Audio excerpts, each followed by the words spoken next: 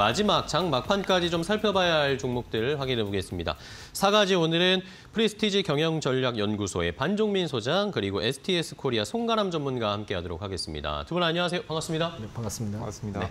자, 반 소장님부터 마지막까지 어떤 종목 좀 보고 계세요? 네, 지금 제가 보는 부, 종목은 G2 파워입니다. G2 파워. 네, 이 G2 파워는 사실 그 수배전반 태양광 발전 시스템 등 저, 제조 및 설치 영위 기업이다 이제 보시면 되겠고요. 오늘 그 원자력 관련된 부분도 이슈 때문에 좀 크게 상승을 했다가 지금은 좀 10% 정도로 마감이 될 것으로 좀 막, 보고 있습니다. 사실 뭐 산업자원부, 통상자원부가 이제 한수원이 폴란드 국유재산 관련된 부분들, 즉 이 부분을 통해서 원전과 관련된 이슈가 지금 굉장히 좀 나온 부분들이 있는데 이런 부분들을 봤을 때는 원전과 관련된 부분들이 계속 지속적으로 이 모멘텀이 나올 경우에는 좀더더 크게 상승할 수 있지 않나 바라보고 있고요. 사실 이 G2 파워가 원자력 발전 설비 필수 인증 요건이 Q클래스급 품질 기준의 수배 전반 제품을 좀 시- 품- 출시를 하고 있습니다. 즉 이 부분들이 원자력 관련된 부분들도 충분히 충족되는 부분들이 있기 때문에 좀더더 지켜보시는 게 낫다라는 말씀을 드리겠고요. 사실 이 부분들을 봤을 때는 현 구간에서 뭐 만 원 이상만 좀 잘 돌파만 한다면 만 삼천 원까지 갈 수 있다라는 말씀을 드리겠습니다. 네, 알겠습니다. 자, G2 파워 역시 원전 관련 종목 중에 오늘 또 좋은 흐름 나타내고 있고요. 이번에는 송가람 전문가님이 보고 계신 종목도 궁금합니다. 네, 오늘 저는 아모레 퍼시픽을 가지고 왔는데요. 네. 이 아모레 퍼시픽 같은 경우에 대표적인 화장품주죠. 이 화장품주가 3분기 실적 부진에도 불구하고 이 4분기에 실적 개선 전망 등에 의해서 이번에 소폭 상승하고 밀리지 않는 모습을 보여줬습니다. 기술적인 위치를 살펴보더라도 최근에 상승했다가 눌렸지만 여기 중요한 라인을 깨지 않는 모습을 보여줬습니다.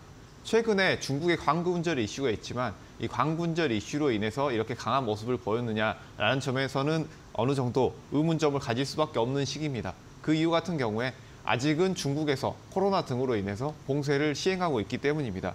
그렇기 때문에 현재 이 위치에서 이 흐름을 어떻게 바라볼 것이냐에 대해서는 뭐 여러 가지 시각이 있을 수 있겠는데 제 개인적인 의견으로는 먼저 국내 시장에서 어느 정도 turnaround가 될 것이라고 예상되는 부분이 없지 않느냐라고 보여지는데요. 그 이유 같은 경우에 이제 우리가 새로운 코로나 변이 바이러스가 발견되지 않는다면 하반기 그리고 내년 상반기까지 이제 실내 마스크까지 모두 해제를 하겠다라는 뉴스가 나왔습니다. 그렇기 때문에 이 reopening 관련해서 화장품주 그리고 저가형 항공주들 같이 이런 것들이 재부각 받을 수 있기 때문에 이런 단기 이슈로 끝나는 것이 아닌 앞으로도 이 추세가 이어질 가능성이 어느 정도 존재한다라고 보여지고요. 현재 가격대에서 밀리지 않는 이 8,000원 가격대를 어느 정도 유지를 하면서 가져가면 여기서 11,000원대 돌파가 나온다면 어느 정도 단기적으로는 화장품 섹터 전체적으로 좋은 흐름이 나올 수 있겠다라는 점을 말씀드리겠습니다.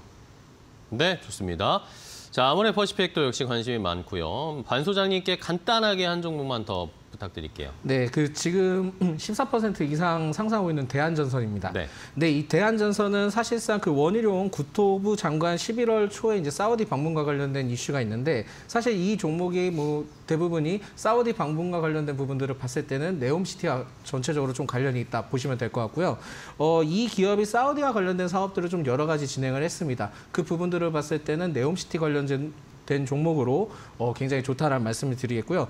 추가 상승 가능성이 좀 매우 높습니다. 높, 높은 부분들이 있기 때문에 지금 현재 구간에서도 좀 더 더 크게 상승할 수 있다라는 말씀을 추가적으로 드리겠습니다. 네, 알겠습니다.